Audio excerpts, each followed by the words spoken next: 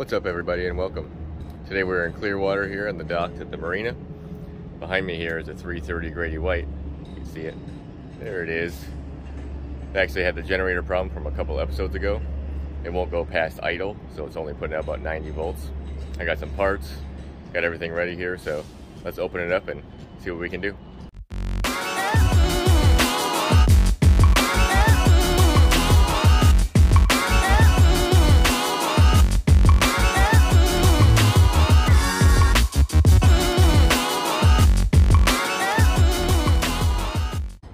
Before I show you the generator here, let me show you a clip real quick of what it's actually doing when it starts.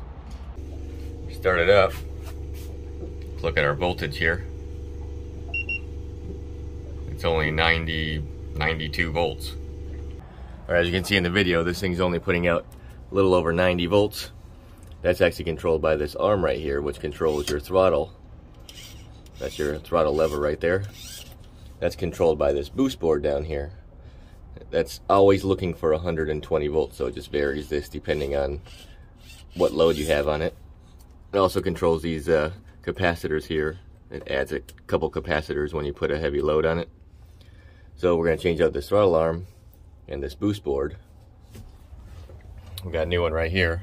The reason is they've reprogrammed this so that this won't get burned out. I guess this was sending too much voltage to this and what happens is this actuator stops working because it pretty much gets fried inside. So they've changed their settings for both of these and now it works fine. So let's change them out.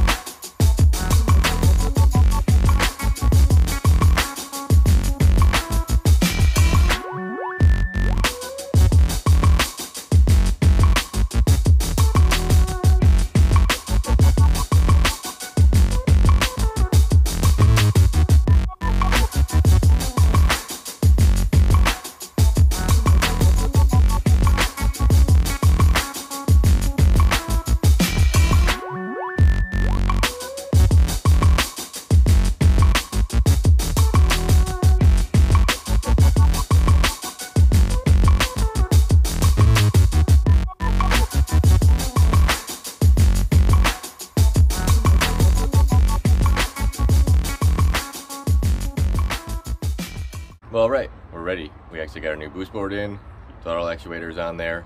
Now when we fire it up, I'll put the camera down on the uh, generator here. You'll be able to watch the throttle arm move as it gains RPMs.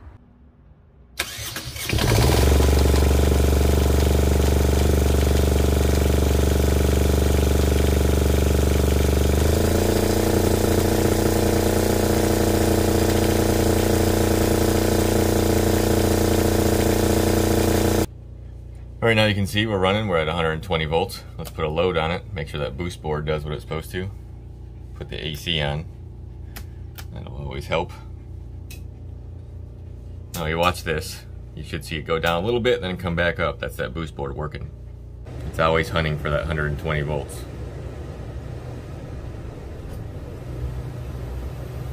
Yeah, they're just up 115 to 119. See, it kicked in those two extra capacitors when it did that.